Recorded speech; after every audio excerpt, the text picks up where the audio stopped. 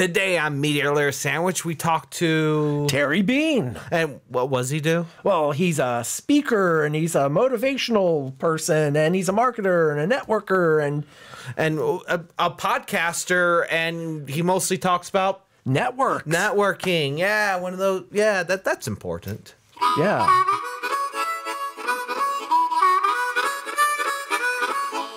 Welcome to Media Litter Sandwich.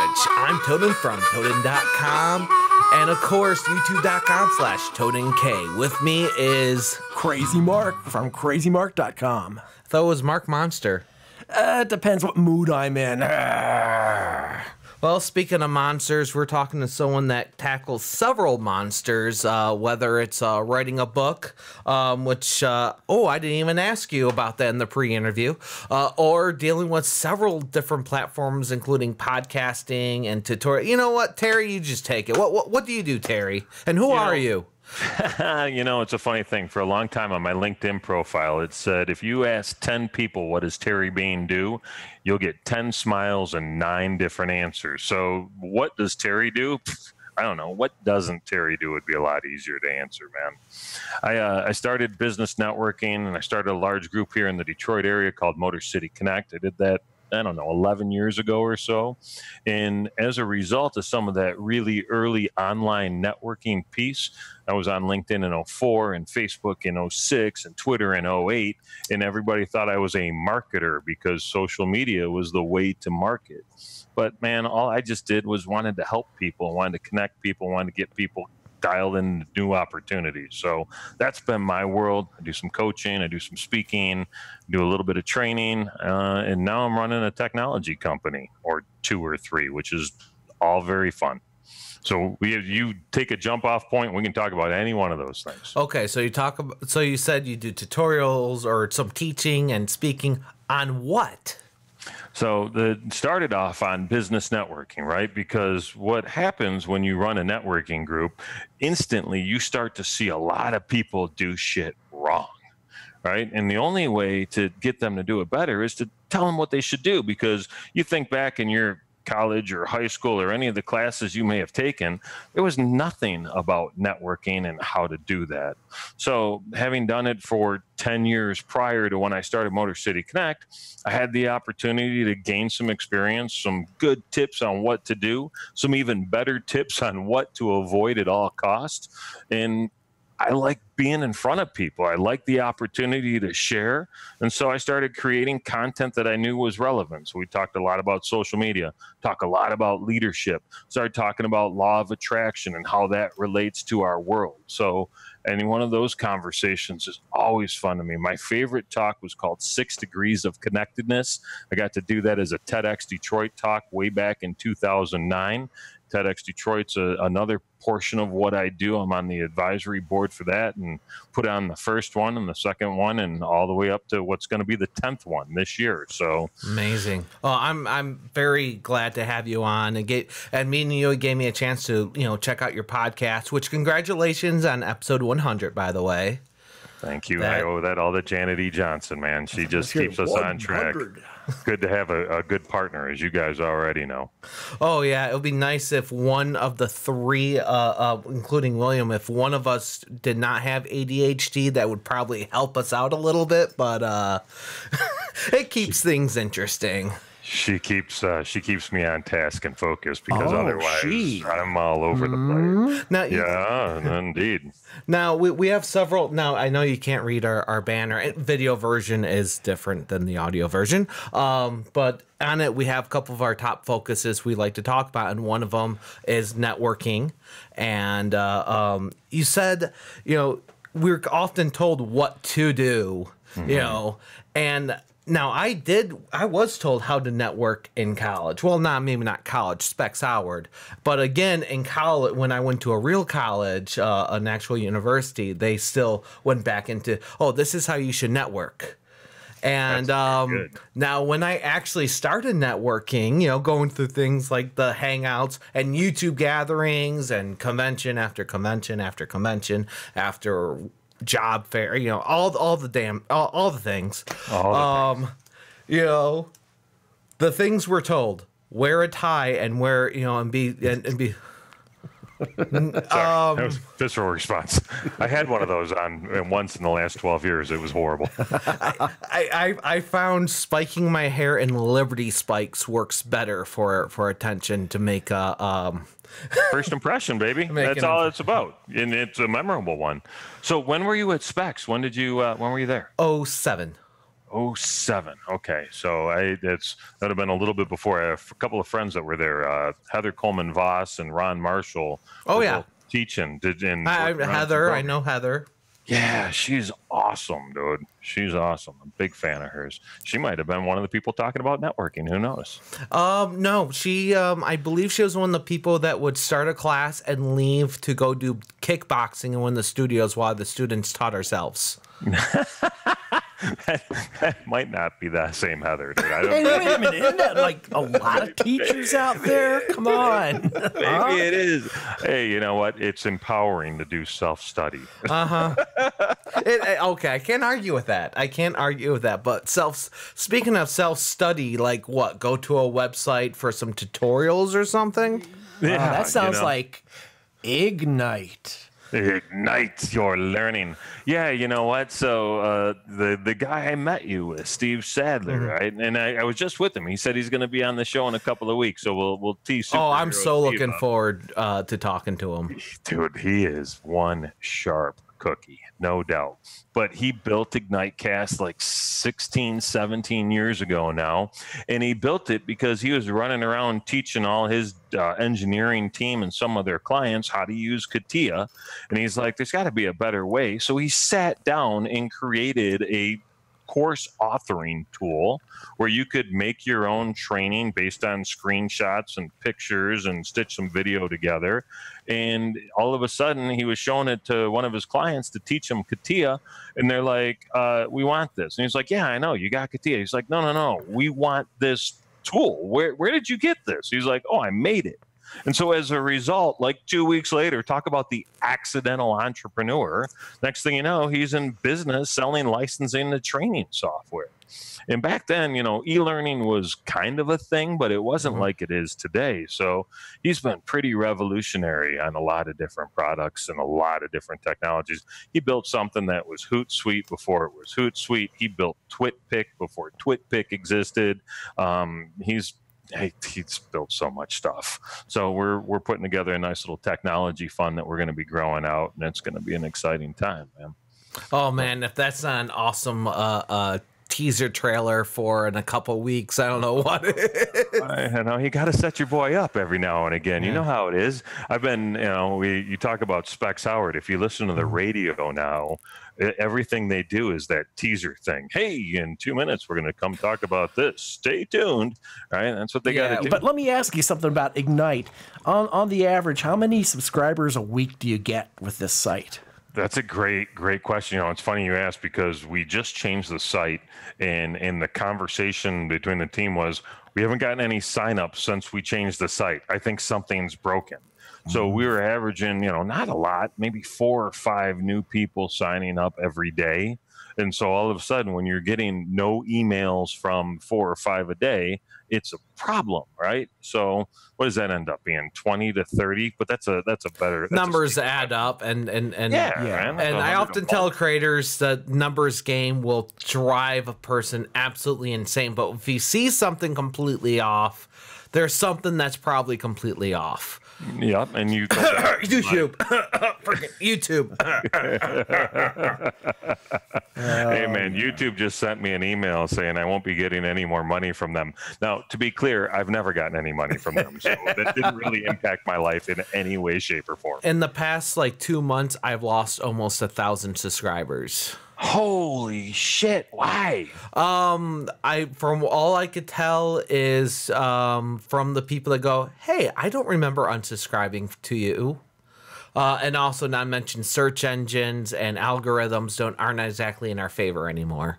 Yo, so basically, you're saying you're not paying the YouTube gods enough to keep your people. I get you. Yeah. yeah. Uh-huh, uh-huh. Thanks, there, Mother Google. Very kind of you. Oh, I'm sorry, Alphabet. Let's say. No, right. but honestly, yeah, I got the same letter, and I just go, eh, time to cash out my I don't know how many thousands of bucks that have gathered since 2005. Wow. if it's on, they don't pay you until it hits a hundred. I don't believe so. They don't. Uh, what? A hundred thousand? No, hundred dollars. No, they pay out every, when it hits a mine- hundred. Mine is people. like Yeah. taxable. Really? Yeah. That's good. You know, Taxable. you, well, you know what? We need people like you, man, to contribute to the economy. That's good. That's So- because I've never claimed anything from YouTube, and now I will. well, good. Well, I've always, I've always uh, did that on my taxes. I always wrote down all the money I got from YouTube. Well, no, I never fu- got paid from YouTube. Oh, well, then I never would've- collected it- from he's let it- YouTube. he's he's letting it roll, baby. He's uh, he's big gambling. So, yeah. if if that's an issue, where will you go next? You guys are you guys are in it to win it. So do you stay on YouTube or do you like? We're looking at other platforms. We're playing with some other platforms. Um, there is another platform that should be coming. Well, there's one that's already out that we're going to play with a little bit. I um, I think we. I'm not sure if uh, we talked. I know I talked about it with a couple people at the um, um, at the gathering I met you at. In fact, I, that's how I learned about it. Was uh, uh was there about DTube and their cryptocurrency. Um, I'm not. I, I'm going to play with it more. I'm not. I don't see that getting popular with general population. But there's another platform that be coming out in a few months. That company actually just won like a million dollar lawsuit against oh, against a studio. So they're having this huge launch party, and we're already um, signed on as beta testers once they get into beta testing. Speaking of dedication, I want to get back to you, Terry. Give me like a talking me. success story from one of your, like, say, for example, you you like to help people out motivationally or business wise. Give me a success story, a really great, juicy success story from your past here or recent. Oh man, there's been a few. You know, I think one of the cool things that I've had the opportunity to do uh, was help some nonprofits really kind of get some get some visibility in the community. And not that they didn't have it, but nonprofits, if you're not United Way or March of Dimes or something huge, Red Crossy, you, you kind of ebb and flow. You find a groove, you lose the groove. Um, a guy named John George, he runs an organization called Blight Busters, Motor City Blight Busters. Right and on. They, Oh, yeah, You know who that? You guys know this Oh. I've heard of them. Yeah. Yeah, yes, and uh, and um, we believe another guest on the show is actually teaming up with um the the uh, um uh I love uh I love Detroit. I Oh, yeah, heart that guy. Detroit. Well, it, it was it was Lo- Love You Detroit. That's Yeah, it. Love You Detroit. Love You Detroit. Detroit. I believe he's uh, trying to partner up with them if he's not already partnered up. Yeah, so back in back in 07 time frame, I met John and it was one of the first times I'd ever been in someone's conference room where somebody walked in and their energy just blew mine right out the door, right? And I was like, I don't know who this guy is, I don't know what he does, but I got to I got to get me some of this. This is really cool. And so John for 28 years now has been tearing down cracked out houses and revitalizing the neighborhood that's known as Old Redford up in northwest Detroit, basically six mile or Grand River and Lahser in that six square block area, you know, where the Brightmoor district is. And he's been just making an impact on that corner. So I've brought dozens and well, hundreds of volunteers out for days where we would spend the day. You, you'd get there and there'd be this framed out house, and you'd leave and there'd be a pile of dirt, man. And it was cool to watch these houses get toppled over and and and really you just felt like you were making such an impact even it was just this one little thing but it was cool to bring people you know 2008 2009 2010 um, suburbanites going into the city for anything that didn't involve a sport ball or Mhm. a puck wasn't wasn't that likely right so to have these guys going down and and and, and making a difference in the community that uh that always made me smile man Yeah, I in fact our other host William from All About William, who isn't here today, he actually just William. did something um, that may have just uh, made Brightmoor even more livable. He moved. Oh, Oh, I'm sorry, that was a bad one. To or from? Yeah, he uh, from Brightmoor. He, that's where he was living. Yeah, so that that was cool. Um, part of the work that tied into that ended up creating this thing called 313D Love, which uh, ended up trending worldwide on the Twitters back in like 11 or 12. Um, and ended up becoming a proclamation where March 13th was officially known as Detroit Day, signed by the governor. That was kind of cool, just to get some sort of rallying cry around the city. Because, again, years ago, nobody cared, right? When I had Motor City Connect on, people would be like, you're going to have to turn the lights off when they close the city. You know that right? And i don't i don't live in the city. I never claim to live in the city but i claim to care about people. And we were talking about the secret earlier. James arthur ray said if you can get 1% of 1% of a population to focus their energy in a different way you can change what's going on in the city. So I used to meditate on that and I used to call out and talk to people about what could be and have conversations because really mathematically it was less than 40 people that you needed to impact to have a shift mm-hmm. in consciousness. And so it was it was really cool to see what's going on now because it's a whole different place. It's a whole different place. Unless you're you know in bright i haven't been up there in a while. I'm gonna have to check it out. Yeah. So when you say so in which way did you help them was it marketing? Was it networking? I know you said you went up there with your own two hands and did stuff, which is amazing. But what other ways did you make an impact? So, you know, Mark will make fun of me a little bit. And I don't, again, I don't claim to be a motivational guy by any stretch of the imagination. Let me guess, you but, ate spinach and you hit the house and it turned into a lumber yard, right? That's, that's it. The goons came out. I hit the house, boom, the lumber flies up and lands in a neat pile ready to sell. I'm so happy I, I, I didn't hand you the ukulele. I'm very happy. Wait a second, wait a second, wait a second. We have an opportunity to be listening to ukulele right now instead of listening to me. You guys are doing this all wrong. oh, yeah. please, uh, please, continue, Terry. so you know, it really it was about hosting events. It was bringing people down. It was changing the narrative. It was making a conversation about instead of looking for all the crap, which is really easy to see back then. It's look for what's good. You could drive through a neighborhood in 2007, 2008 in Detroit, cracked out house, blown out house, no house, big empty field, house with a nice yard that was freshly cut and flowers on it. Cracked out house, jacked up house, people laying on the porch doing nothing, mm-hmm. house that somebody actually cared about. So oh wait, you passed looking... the house I used to live in. I was laying on the porch doing nothing. see, I see all these houses knocked over and, and all this space not being used. I wonder, you know, okay, people try to start urban farming, but I, I'm looking for a place where I can have chickens. Why can't I have I chickens in Detroit? There's all these abandoned houses. Why can't I just say, that's my land. I want to put my chickens here. I know that is like way different of a, of a narrative here, but I just need a place. I just, I'm looking for a place where I can have 20 chickens where no one's going to bother me. I wish that was a joke, by the way. I'm like life goals, baby. 20 chickens, yes. damn it. Eggs.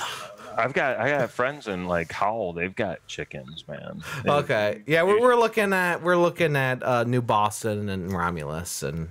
Is there? It, it, I mean, seriously, when you're looking for a place, are you checking the chicken specs? On yes. The, on the home yes. Uh, but my girlfriend already has 20 chickens. She really? Yes.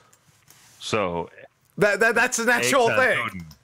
Eggs, eggs on Totem. Oh, baby. all the Mark, eggs. Have you had the? Have you had all the eggs, the eggs across had, the have... counters and filling up the fridge? So many eggs. Cock a doodle doo. Yeah, yeah, yeah. Three, three of them are roosters. Your, your cholesterol may be shit, but you'll never go hungry. eggs, eggs, eggs. I want more eggs.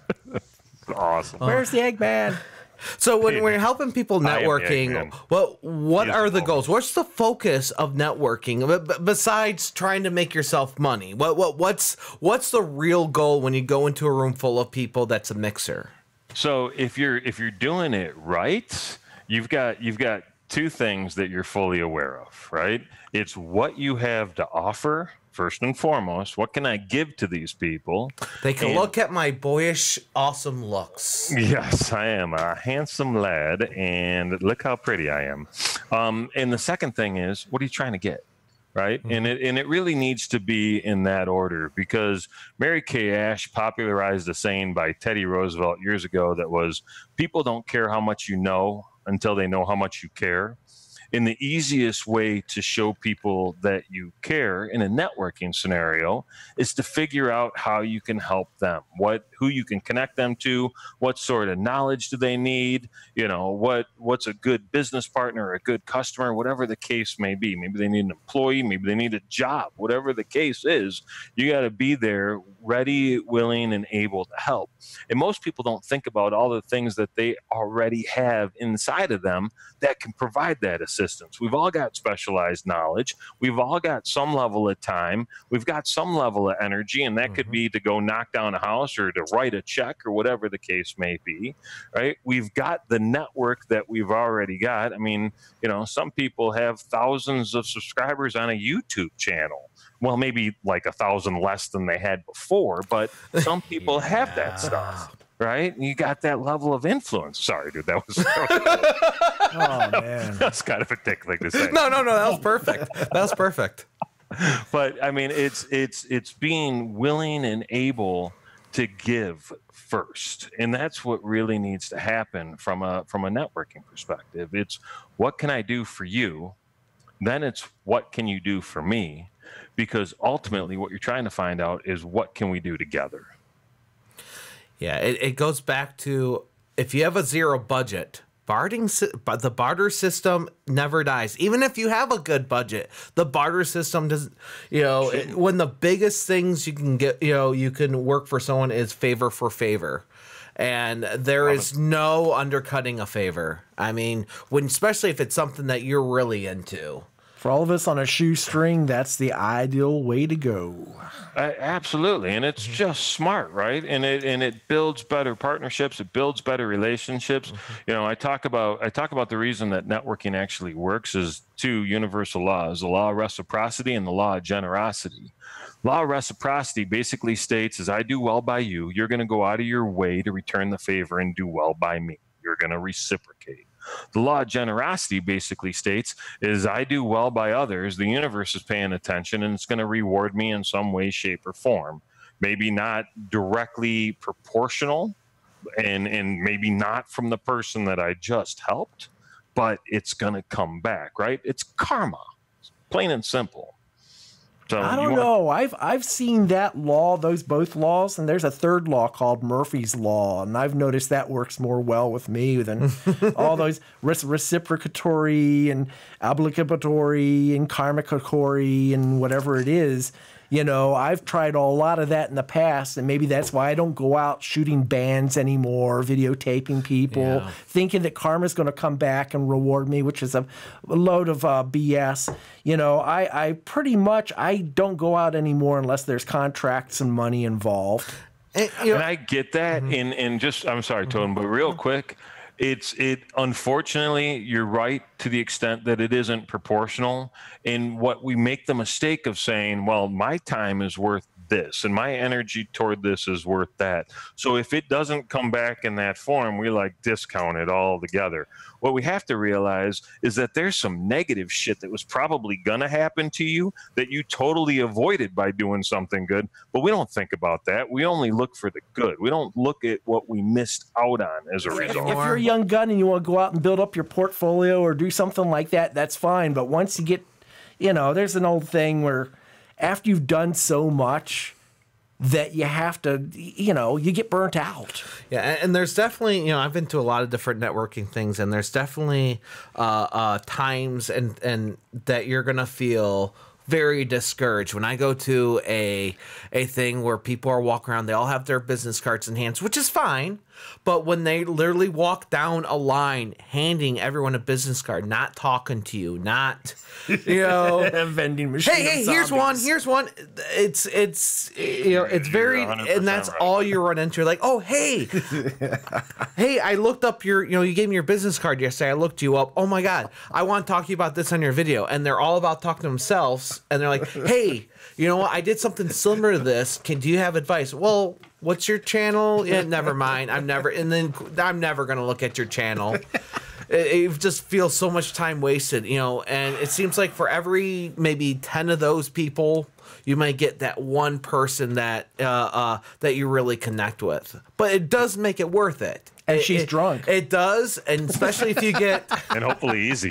especially if you get, you know, two or three of those people around in a circle, you'll notice that that attitude, not kind of circle you're thinking of. Shut up. There's no uh, cookie. the, the attitude spreads. Positivity breeds positivity.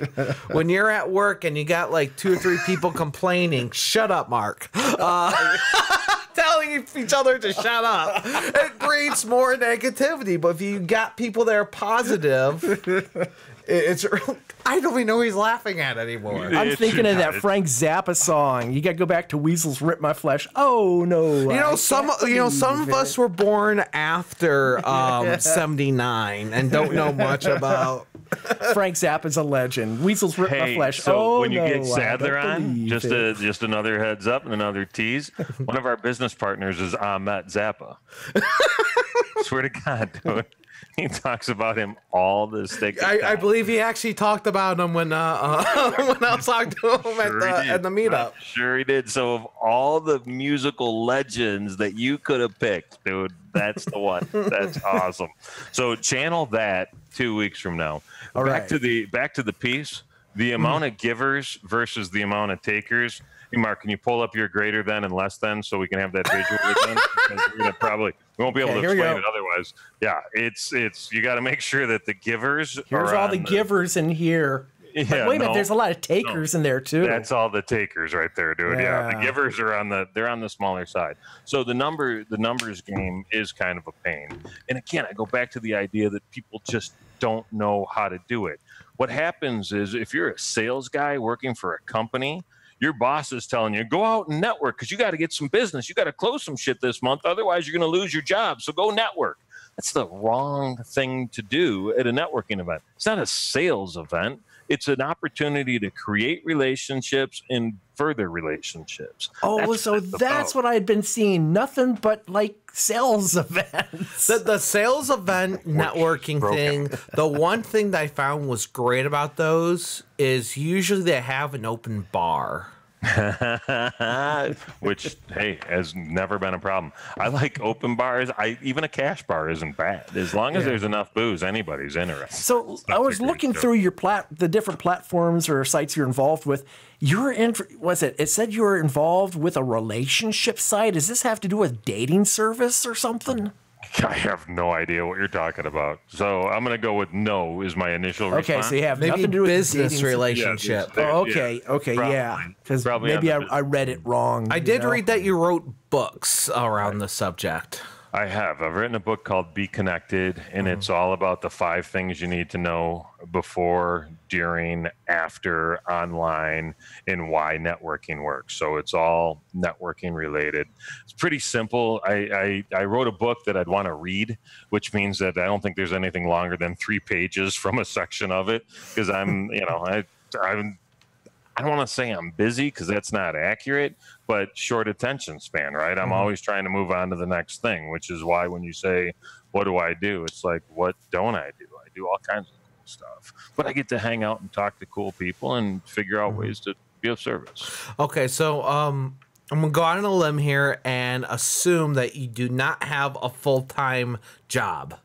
oh, your traditional job. Let me put it that way. Yeah, no, no. Shh, my wife's right upstairs. She doesn't like hearing that. No, I, uh, I no, I, I, I, I don't. Um, I, I'm not necessarily psychologically unemployable, but I'm, you know, psychologically unemployable. I'm not.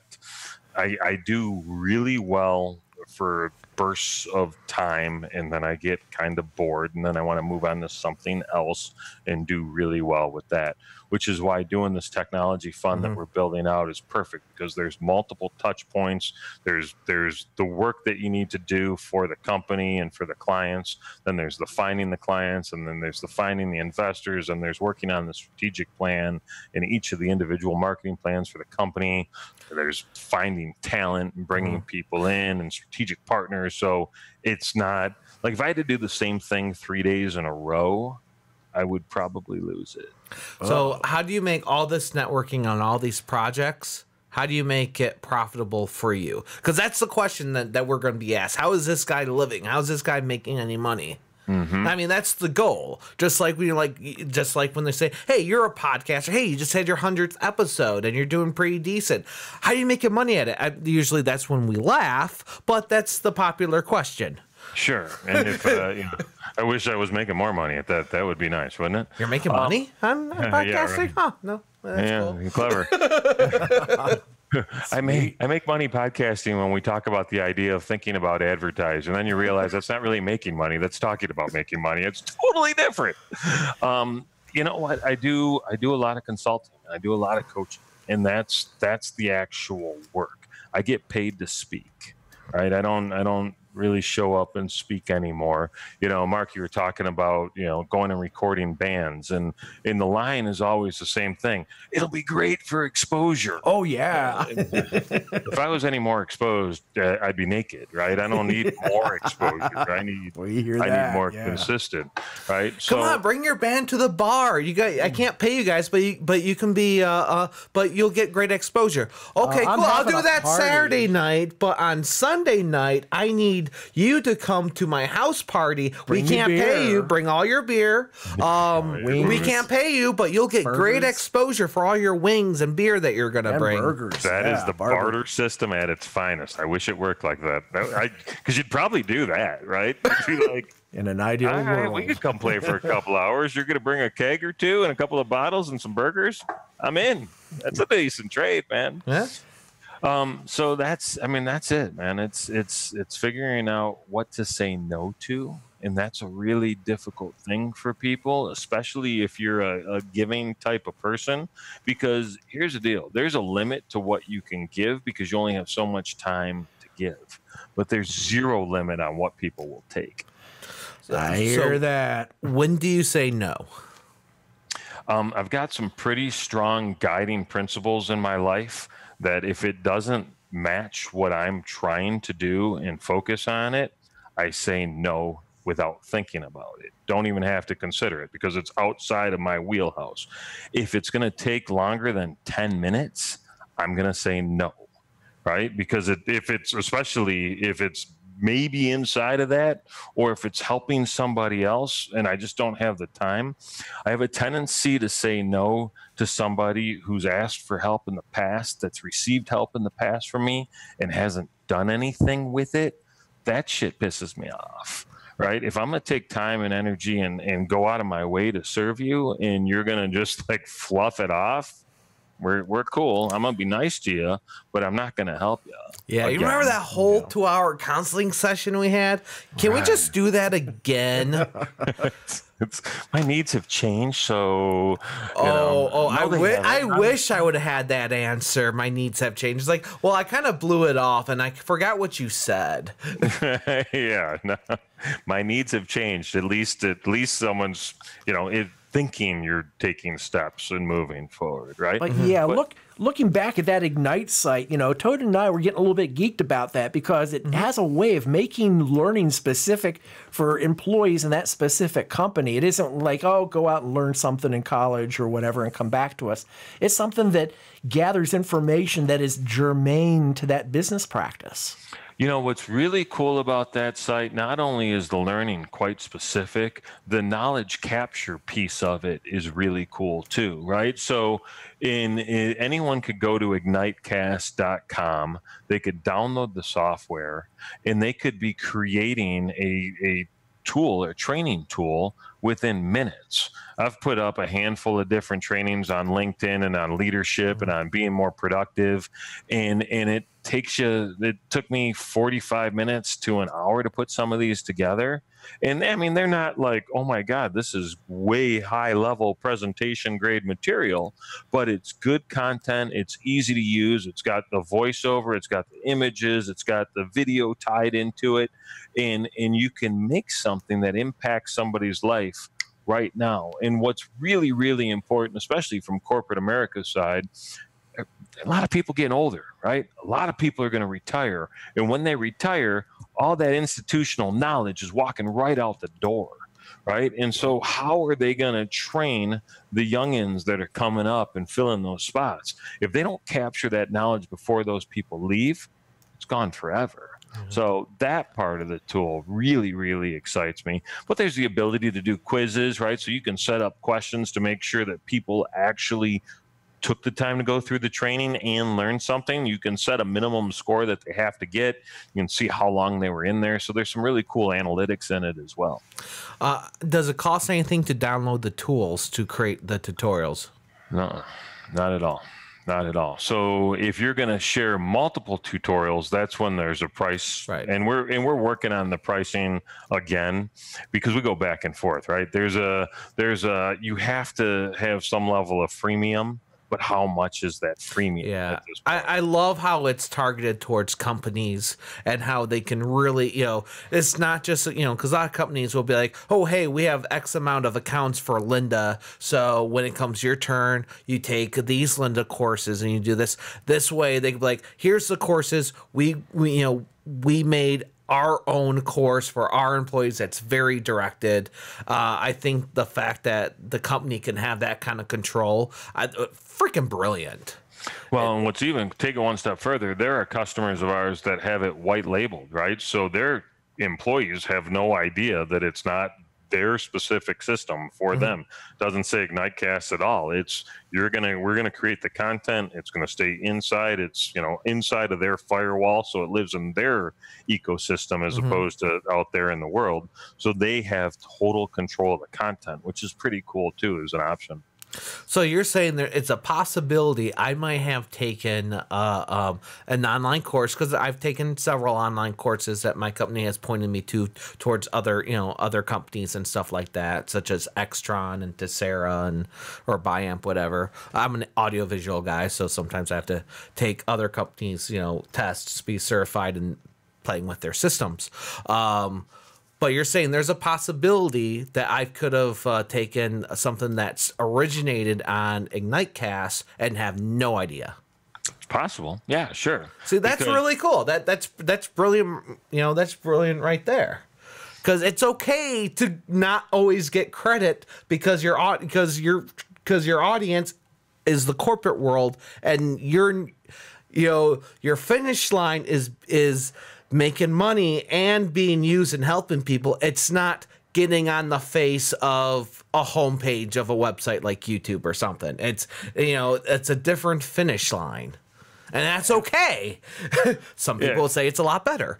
don't don't get me wrong, right? Branding is important and and having people recognize what you're doing is relative and it's a good way to grow the business.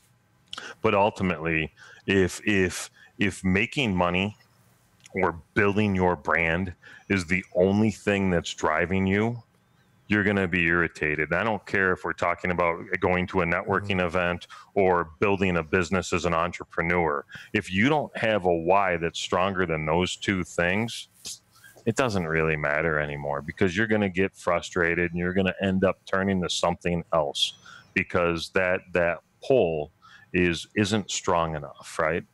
So that's why I keep going back to being of service to other people. That's what drives. Oh, because for yeah, right. It's time for questions from a hat. Yes, questions oh. from a hat. That, that, then we plug you, and then we you know plug plug you full of holes, and then yeah. I'm like, wait, wait, I didn't sign yeah, up. Yeah, we're wrong kind of. I'm plug. not sure how we, are plugging uh-oh. here anymore. Yeah. Mm. Questions from the hat. Oh, and they have two hats for those of you that are visually impaired right now. One hat. Yeah. The hat Mark's wearing, but the other hat. let's show them the hat. Oh, I think. Oh. This is the other hat. The the oh. for for the audio listeners, the hat that we pull the questions out of is like sort of a Dr. Seuss hat, except for it's black and white with skulls on it because well, that's what I had laying around. That's it's a, it's a hell of a lid. Okay, and uh, um, if people submit questions, we will say your name when we pick the questions. Uh, we need more people to submit questions, or else we're going to stop this whole section. Which maybe that's what people want. I don't know. Um, I think this is a fantastic question. Oh, you, look, Terry. you prefer frog legs or spam? No, just joking. they, uh, they both taste like chicken. Yeah, maybe, hopefully, not your girlfriend's chickens though, because. Oh. and hopefully not not my not me because I'm a toad, but because toad and eh, yeah, whatever. Yeah, yeah, yeah. yeah, yeah. Maybe they just taste like beans. I don't know. Um, all right, so here's. That's I think this question's good. Good for this conversation. So Terry, what can you tell us that you can't tell anybody else about? Preferably about the business and how you make money, not not other weird things part of the world. what, what can I? What What was the question? What can What I can you- tell you? Uh, what can you tell us that you haven't really told anyone else? I'm changing the wording because they can't tell anyone that doesn't make any sense. So I'm changing the wording to what can you uh, what can you tell us that you haven't really told anybody else about uh, um, about your platforms, about your business, about what you do? Well, I'm gonna I'm gonna tell you something that's kind of personal about me, which is Okay. kind of a, a, a difficult piece, right? As a as a speaker, as an author, as a guy that runs a very large networking group, as a guy that's built a handful of businesses and is continuing to grow them, I'm a terrific promoter of other things. But when it comes to talking about me, it absolutely creeps me out. I have a really hard time, which is if you go back through the conversation, you'll notice how many times I've turned it back and asked you questions because I don't like talking about me. And it's not that I'm private and it's not that I'm not fairly interesting and haven't done a bunch of cool shit. It just doesn't seem genuine to me. I I I can't learn anything new with my mouth open. If I'm talking, I'm not learning. And I'm much more interested in figuring out who you are or who the people are that I'm talking to so I can make some connections and ghost out. So that's that's I don't know if that answers your question fairly, but that's a pretty sincere answer. Yeah, I, I think that's a great answer, and I think that's a great great information. Um, I, I think it's fantastic. Ghosting out. I like that one. Ghosting Yeah, I mean, so many times people say, you know what? If you just listen to people, they feel way more connected to you. Yeah. Um, I remember one of my first times I, I was preparing to go to a networking event, and I was right, you know, like, hey, I, I should make something with my brand on it to hand hand out. And I asked somebody, hey, what what do you think I should hand out besides business cards? Like, make you know, I eventually made bandanas and stuff. Pancakes. Um, uh, Oh, that's cool. and, and uh, um and someone gave me some great information like it doesn't matter what you hand out in fact maybe you shouldn't hand out anything it's not what you give people it's how you make them feel on LinkedIn eight hours ago today, I posted, It is important that people feel heard, respected, and cared about. Right? That was a status update. So you talk about the importance of listening. It's so true, man. They just they feel so much better about you. I talk about the idea that if you want to be the single best conversationalist anyone's ever talked to, spend 10 minutes talking to them, spend eight and a half minutes talking about them, and spend a minute and a half about you because everybody's favorite topic is the same. What's your favorite topic? Right. So it's pretty simple to go and have those conversations, and people will walk away going, Man, that was a great conversation. okay so i got one more question for you Terry. Another good Simpsons episode, by the way.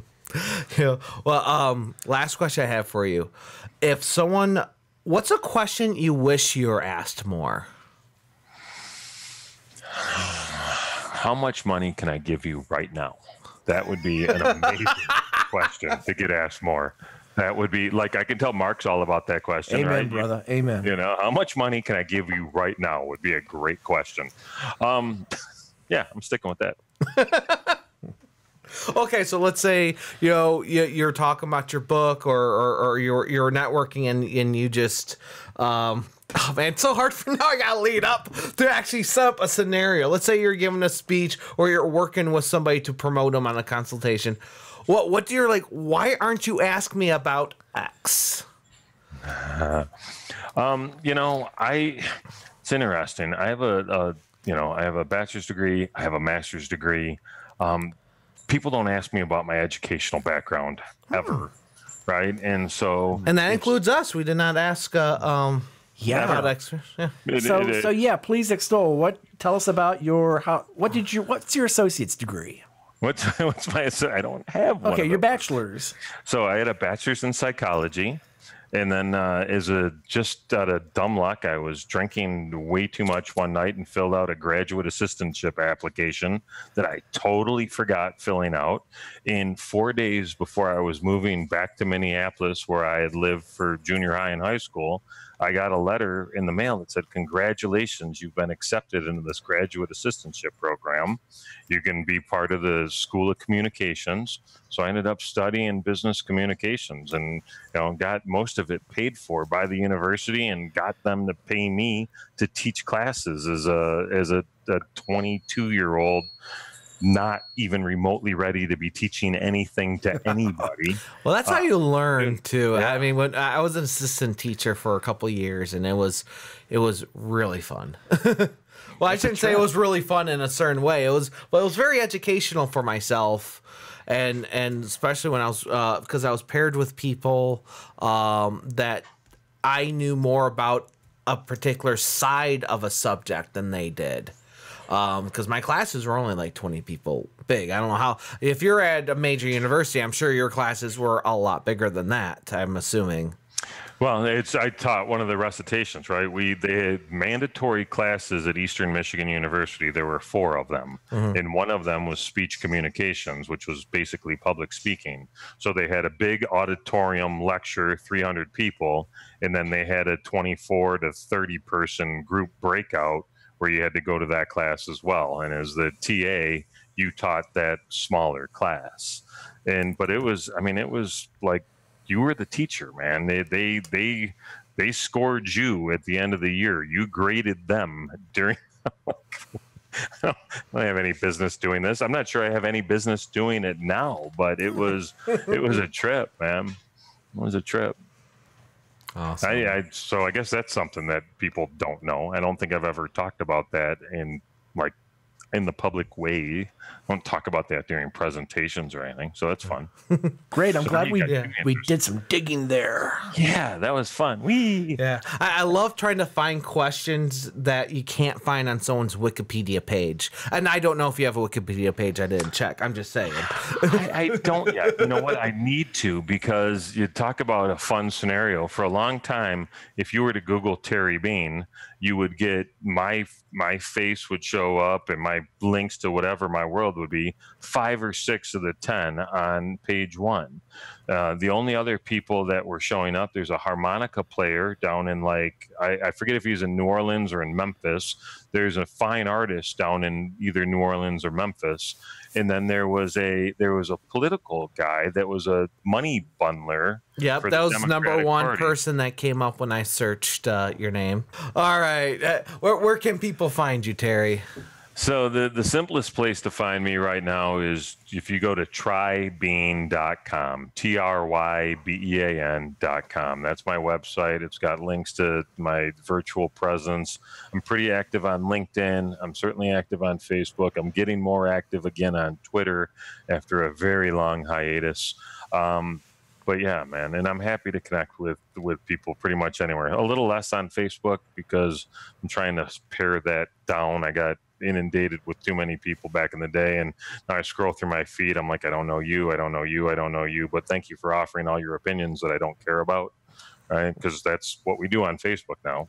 Yeah, I tend to respond to a lot of people as, you know what? Can you remind me where I met you? Um, mm-hmm. I do have a, a, Facebook page and a group, which I'm pretty sure you do as well for your podcast. You did not promote your podcast, which I think you totally should.